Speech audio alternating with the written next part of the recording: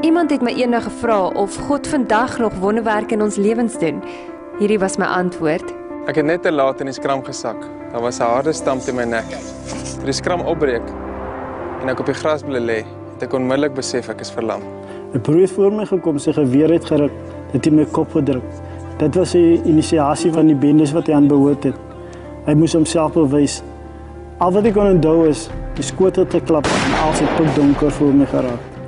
Twee weke voor ons baba se geboorte het die dokters ons ingeroep met die nuus dat ons solank begrafnisreëlings moet begin tref.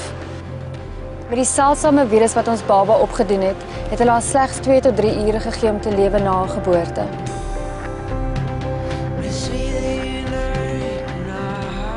Waar die dokters gesê het dat ek 'n kwadripleeg sal wees, het God ingegryp en my volkome genees.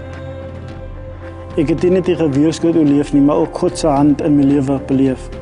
Vandag is ek nie meer bendeleier in die Kaapse vlakte nie, maar geestelike werke wat sien hoe God wil en kan jong mense se lewens verander. Ten spyte van wat die dokters voorspel het, my dogtertjie nie net 'n uur of 2 gelewe nie, maar God het ingegryp en 'n wonderwerk verrig.